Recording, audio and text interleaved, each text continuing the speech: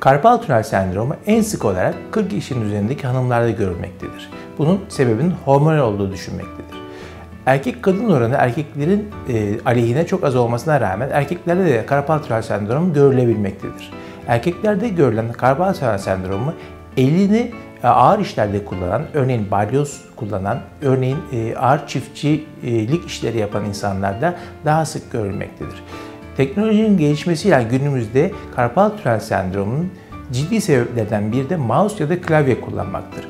El bileğinin nötrüde değil de hafif dorsifleksiyon dediğimiz elin e, bilekten arkaya doğru kıvrıldığı durumlarda uzun süre tutmak sinirin sıkışmasına sebep olmakta ve karpal tünel sendromuna meydan vermektedir.